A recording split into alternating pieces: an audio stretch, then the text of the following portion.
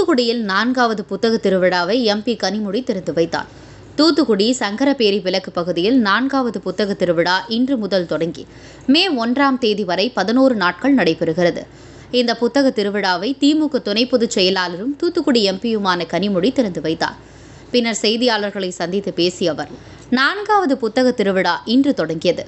நூற்று பத்து புத்தக ஸ்டால்கள் வைக்கப்பட்டு ஒரு லட்சம் புத்தகம் கண்காட்சியில் இடம்பெற்றுள்ளது நம் நாட்டின் மூத்த தலைவர்கள் வாசிப்பு பழக்கத்தை மேற்கொண்டதால் நாட்டினுடைய திசையே மாறியிருக்கிறது.